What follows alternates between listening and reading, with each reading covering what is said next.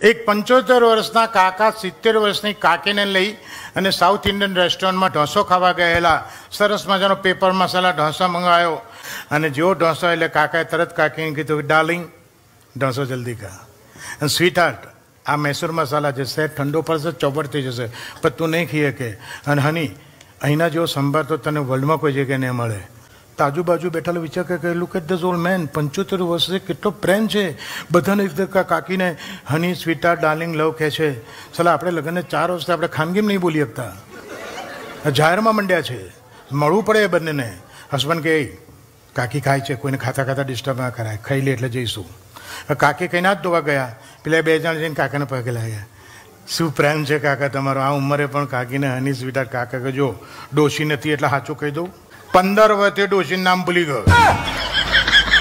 હવે પૂછવું ઓલી તારું નામ શું? ઘરમાં મોટી બબાલ થાય.